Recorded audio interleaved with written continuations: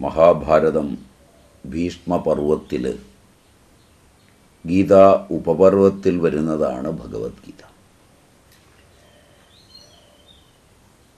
ആ ഭഗവത്ഗീതയിലെ ഇരുപത്തിയഞ്ചാം ഭഗവത്ഗീത ഉപപർവത്തിലെ ഇരുപത്തിയഞ്ചാം അധ്യായം മുതൽ നാൽപ്പത്തിരണ്ടാം അധ്യായം വരെ നീണ്ടുകിടക്കുന്ന പതിനെട്ട് അധ്യായങ്ങളിലെ ഭഗവത്ഗീതയുടെ ആദ്യ അധ്യായം അർജുന വിഷാദ യോഗമാണ്. അതിനെ ആസ്പദമാക്കി അർജുനൻ ഉന്നയിച്ച ചോദ്യങ്ങൾക്ക് രണ്ട് ശ്ലോകങ്ങളിൽ സൂത്രരൂപേണ ഭഗവാൻ മറുപടി നൽകി. തൃപ്തനാകാതെ അർജുനൻ വീണ്ടും ചോദ്യങ്ങൾ ഉന്നയിക്കുകയും തന്റെ ആദ്യത്തെ രണ്ട് ശ്ലോകങ്ങളെ തന്നെ വിശദീകരിച്ചുകൊണ്ട് ഭഗവത്ഗീതയ്ക്കൊരു മഹാഭാഷ്യം ഭഗവാൻ രചിക്കുകയാണ്. അതിൽ പതിനൊന്നാം ശ്ലോകത്തിൽ ആവിർഭവിച്ച് നാം ചിന്തയെ കൊണ്ടുപോവുകയാണ്.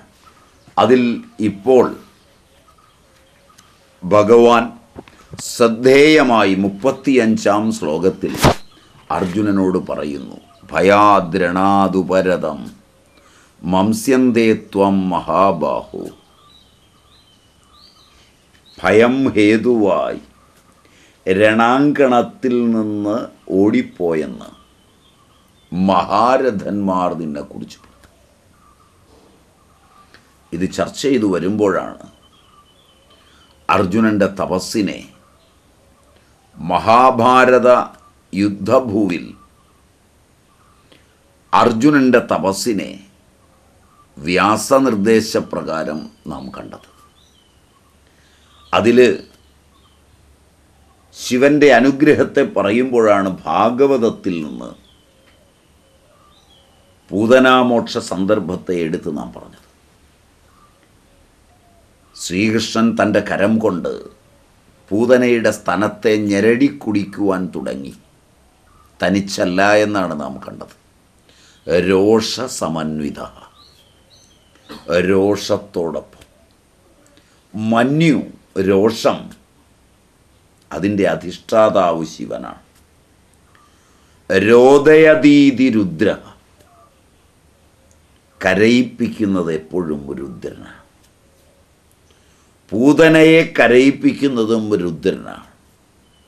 എങ്ങനെ രുദ്രൻ കുടിച്ചു എന്ന് നാം കണ്ടു. പ്രാണൈ സമം. പ്രാണനോടുകൂടി രുദ്രൻ പൂതനയുടെ മുലയിൽ പുരട്ടിയ വിഷം കുടിച്ചു. സംഹാരകർത്താവാണ് രുദ്രൻ. സംഹാരാർത്ഥം അദ്ദേഹം ഉപസ്ഥിതനാണ്. ജഗത്പ്രളയത്തിൽ സ്പഷ്ടരൂപത്തിൽ ശങ്കരൻ വരുന്നു. പൂതനയുടെ പ്രാണസംഹാര സമയത്ത് അസ്പഷ്ടരൂപത്തിൽ ശങ്കരൻ വരുന്നു. മഹാഭാരത യുദ്ധഭൂമിയിൽ സ്പഷ്ടാസ്പഷ്ട രൂപത്തിലും വരുന്നു. അവിടെ ഭക്തന്മാർക്കും ദിവ്യദർശികൾക്കും അർജുനന്റെ രഥത്തിനു മുൻപിൽ ഭഗവാൻ ശങ്കരനെ കാണാം. ഇവിടെ വരെയാണ് നാം കണ്ടത്. സാധാരണന്മാർക്ക് അവിടെയും ശങ്കരൻ അസ്പഷ്ടമാണ്. അങ്ങനെ ചിലർക്ക് സ്പഷ്ടമായും ചിലർക്ക് അസ്പഷ്ടമായും ശങ്കരൻ അവിടെ സ്പഷ്ടാസ്പഷ്ട രൂപത്തിൽ വിളയാടിയിരുന്നു. പറഞ്ഞു വന്നത് അർജുനന്റെ പ്രഭാവം സർവവിദിതമാണെന്നാണ്. മഹാതപസ് അനുഷ്ഠിച്ച് പാശുപതവും വാങ്ങി തന്റെ അസ്ത്രത്തിന് മുമ്പിൽ ശങ്കര വിളയാട്ടത്തെ വരമായി ലഭിച്ചു വന്ന ഒരു അർജുനന്റെ പ്രഭാവം. അതുകൊണ്ട് ഭീഷ്മപിതാമഹാദിയാൽ പോലും അർജുനനെ സമാദരിച്ചിരുന്നു. അപ്രകാരമുള്ള മഹാപുരുഷന്മാരുടെ അടുത്ത് ലാഘവമുണ്ടായിരുന്നു. ലൗകിക യുദ്ധം വെടിഞ്ഞാൽ എന്താകും? സാധാരണതയാ അമ്മാതിരി മഹാപുരുഷന്മാർ ആരെയും കുറ്റപ്പെടുത്തുകയില്ല. വാസനാജാലത്തെ വ്യക്തിയിൽ നിന്ന് വേർപെട്ട് കാണുകയും ക്രിയാകലാപങ്ങളിലേക്ക് ഇച്ഛാശക്തി രൂപാന്തരപ്പെടുന്നത് കാണുകയും ചെയ്യുമ്പോൾ സമഷ്ടി ഈശ്വര സങ്കല്പമാണ് വെഷ്ടിയിൽ പ്രചോദിതമാകുന്നതെന്നും വെഷ്ടിയുടെ പാപസഞ്ചയങ്ങളോട് കലർന്ന് തെറ്റായും പുണ്യസഞ്ചയങ്ങളോട് കലർന്ന് ശരിയായും. ഫലം തരുമാറ്. കർമ്മങ്ങൾ ആവിർഭവിക്കുന്നു എന്ന് തന്നിൽ ചേർത്തു വച്ചും അന്യനിൽ ചേർത്തു വച്ചും അറിയുന്ന ഒരുവൻ അനുഭവിക്കുന്ന ഒരു സമാധാനം മഹാപുരുഷന്മാർക്കുള്ളതാണ്. തന്റെ തന്നെ പൂർവപൂർവ കർമ്മങ്ങളുടെ വിളയാട്ടം അറിയാതിരിക്കുകയും തന്റെ തന്നെ വാസനാജാലങ്ങളെ തിരിച്ചു മനസ്സിലാക്കാതിരിക്കുകയും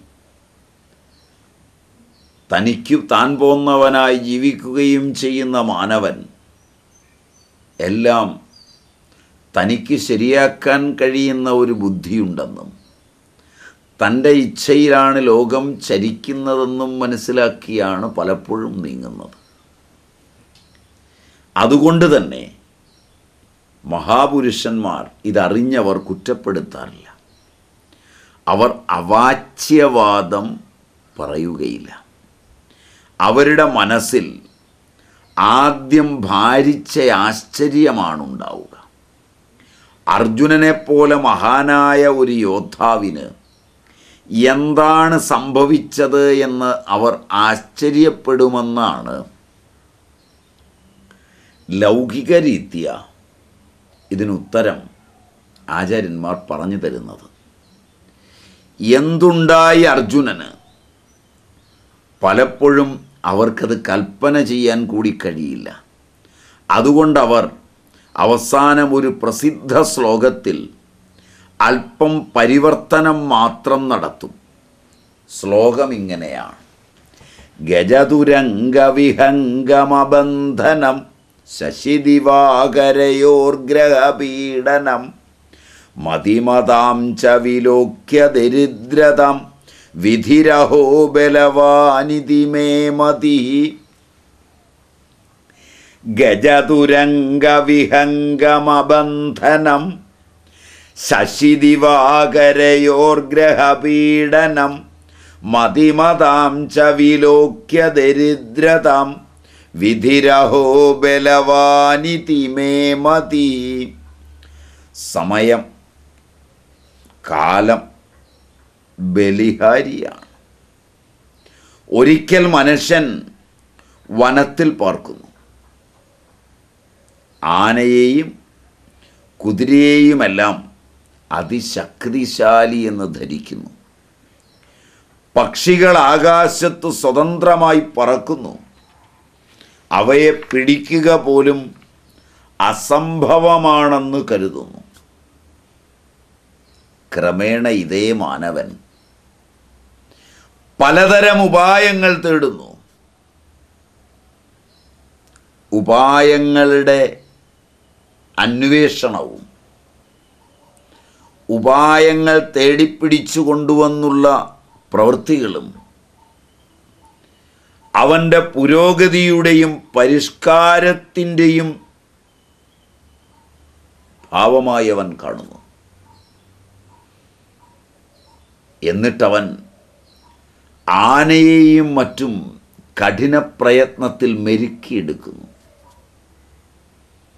എന്നിട്ടും വിധിയുടെ കാര്യം വിചിത്രമാണ്. കാലം ബലവാനാണ്. ആനയും എല്ലാം ബന്ധനത്തിൽപ്പെടുന്നു ദ്രുതഗതിയിൽ ഓടുന്ന കുതിരയെയും അവൻ പിടിക്കുന്നു കടിഞ്ഞാണിടുന്നു. സ്വതന്ത്രമായി ആകാശത്തു പറക്കുന്ന പക്ഷികളെയും അവൻ പിടിയിൽ കൊണ്ടുവരുന്നു. എന്തിന് പക്ഷികളെപ്പോലെ കൃത്രിമ ചിറകുകൾ വെച്ച വാഹനങ്ങളിൽ അവൻ പക്ഷികളെക്കാൾ വേഗതയിൽ പറക്കുന്നു.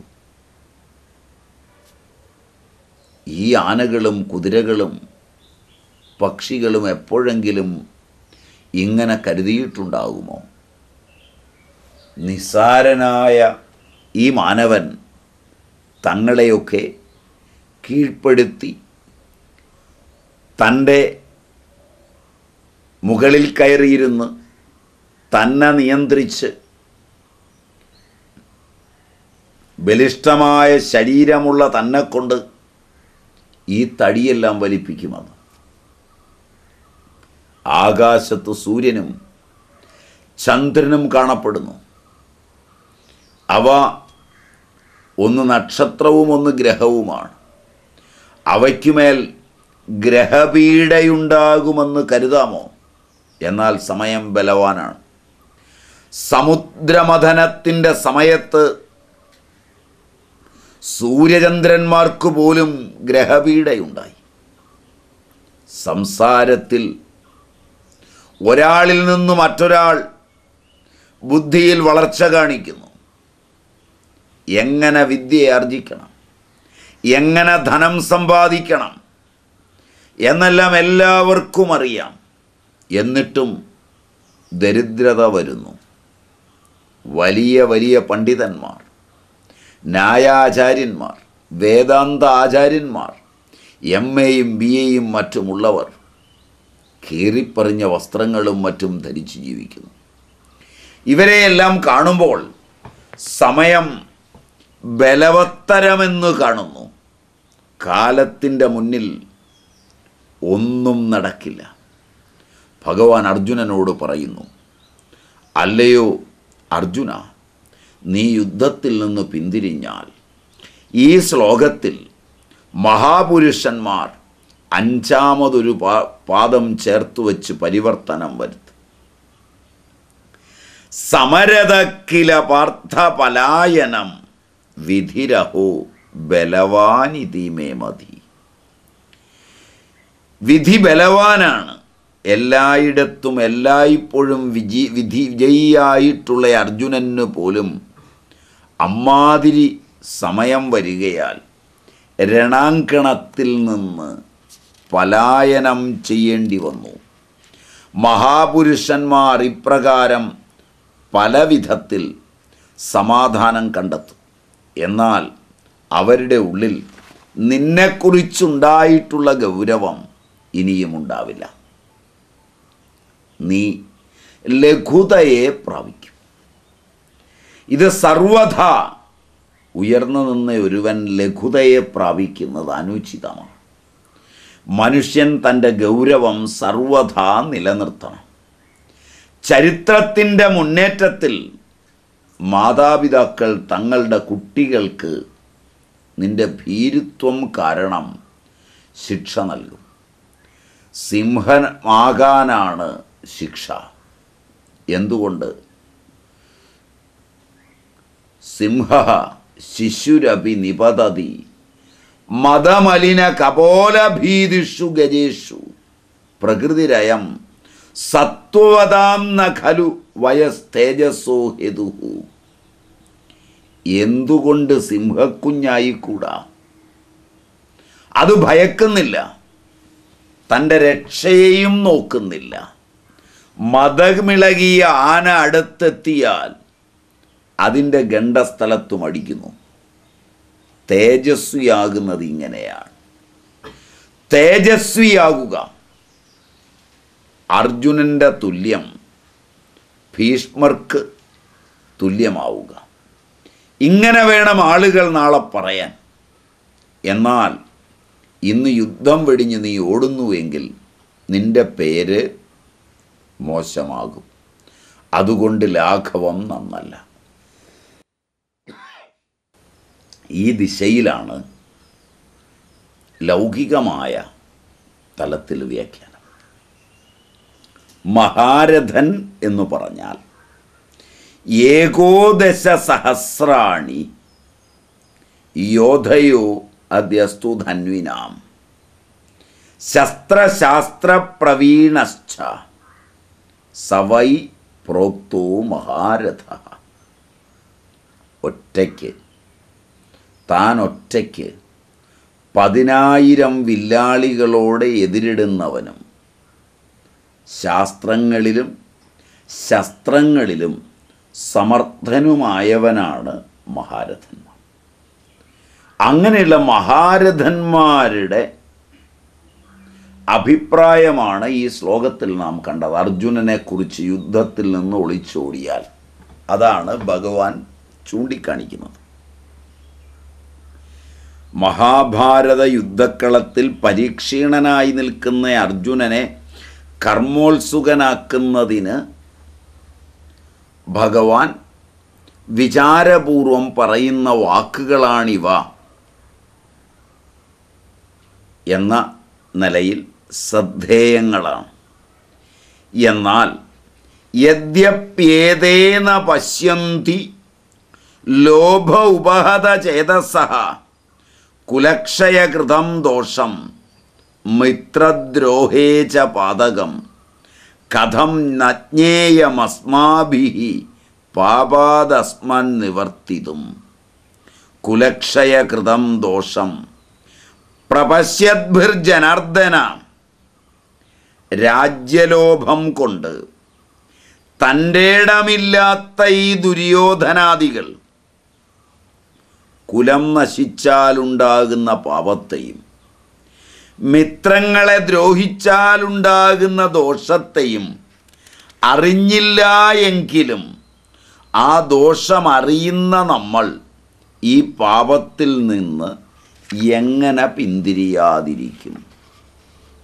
യതിമാമ പ്രതീകാരം അശസ്ത്രം ശസ്ത്രപണയ യഥാർത്ഥരാഷ്ട്രാരണേ ഹന്യുഹു തന്മേ ക്ഷേമതരം ഭവേത്. ശസ്ത്രധാരികളായ ദുര്യോധനാദികൾ ആയുധം ഉപേക്ഷിച്ച് എതിരിടാൻ തയ്യാറില്ലാത്ത എന്നെ യുദ്ധത്തിൽ കൊല്ലുകയാണെങ്കിൽ അതായിരിക്കും എനിക്ക് നന്ന് ഇതാണ് അർജുനന്റെ അഭിപ്രായം. ഈ അഭിപ്രായത്തിലാണ് അർജുനൻ ആയുധങ്ങൾ താഴെ വച്ചിരിക്കുന്നത്. ചിന്തിക്കാതെയല്ല. വികാരം കൊണ്ടല്ല. അർജുനൻ ഉന്നയിച്ച കാര്യങ്ങൾ വികാരപരതയിലെ കാര്യങ്ങളല്ല. ഈ യുദ്ധക്കളത്തിൽ പ്രതികാരമേതുമില്ലാതെ അസ്ത്രശസ്ത്രങ്ങളില്ലാതെ എതിരിടാൻ തയ്യാറില്ലാത്ത ഞാൻ നിലകൊള്ളുമ്പോൾ. എന്നെ അവർ കൊല്ലുന്നു എങ്കിൽ എനിക്കത് അധികം ശ്രേഷ്ഠമാണ്.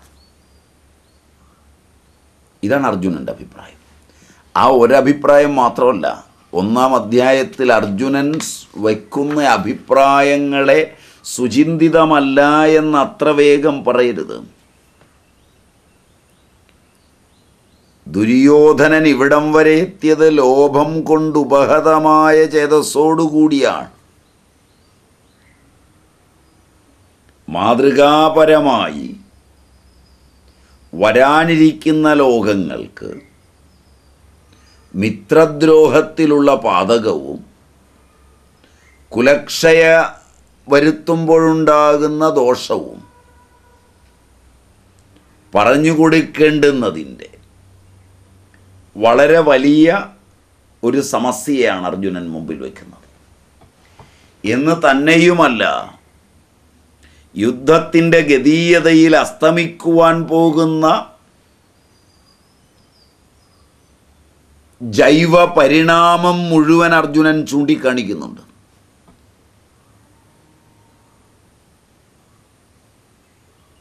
ഗോത്രങ്ങൾ മനുഷ്യൻ മാത്രമല്ല സസ്യങ്ങൾ ജന്തുക്കൾ ഇവയുടെ ഗോത്രങ്ങളെല്ലാം ചേരുന്ന വളരെ വിപുലമായ ചെറുതൊന്നുമല്ല വളരെ വിപുലമായ ഒരു ലോകമുണ്ട്. ആ ജീവശൃംഖല ആ ജീവശൃംഖലയെ മൊത്തം ജൈവ വൈവിധ്യത്തെ മുഴുവൻ ഒരു പക്ഷേ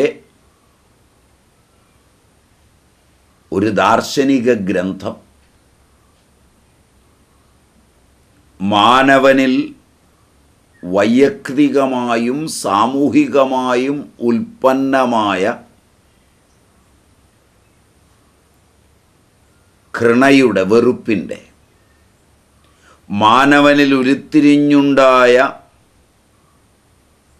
സ്വാർത്ഥതയുടെ. മാനവ ജീവിതത്തിൽ കടന്നുവന്ന ആഗ്രഹങ്ങളുടെ.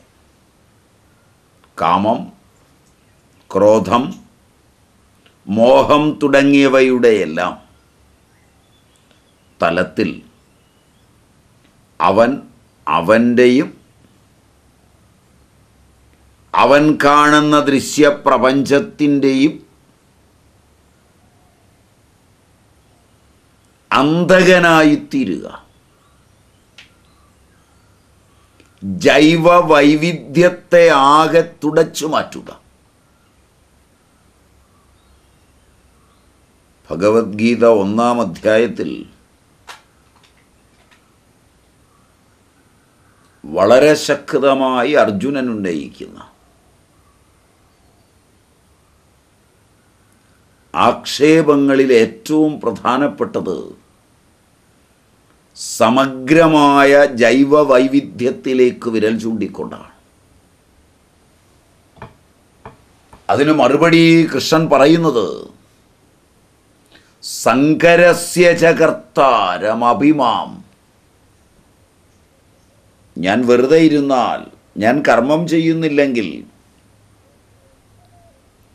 എന്നെ സങ്കരത്തിന്റെ കർത്താവായി കണക്കാക്കും എന്ന് മറുപടി പറയുന്നിടം വരെ നീണ്ടതാണ്.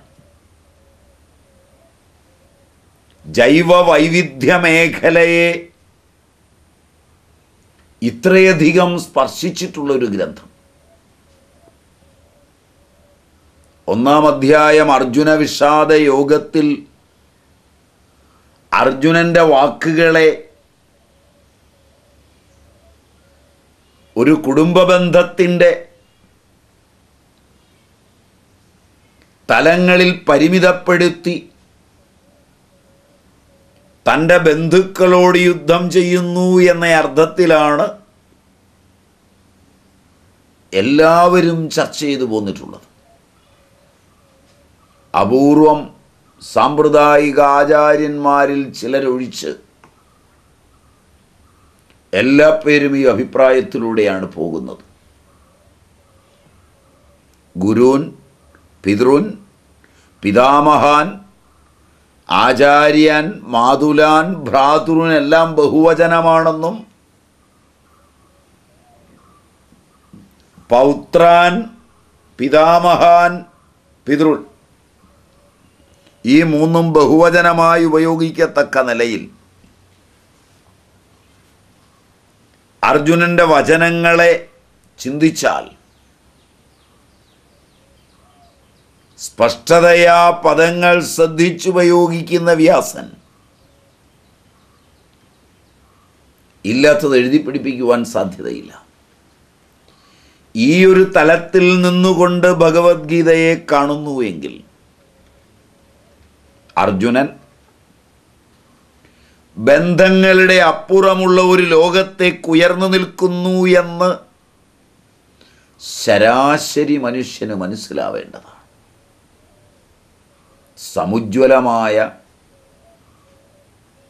ഈ ദർശനത്തെ നമുക്കായി ഉപദേശിച്ചു തന്ന അതുല്യപ്രഭാവനായ വ്യാസന്റെയും ആ പാരമ്പര്യത്തിന്റെയും പാവനപാദങ്ങളിൽ ഭക്തിപ്രശ്രയപൂർവം പ്രണമിച്ച് ഈ ഭാഗം നമുക്കിവിടെ ഉപസം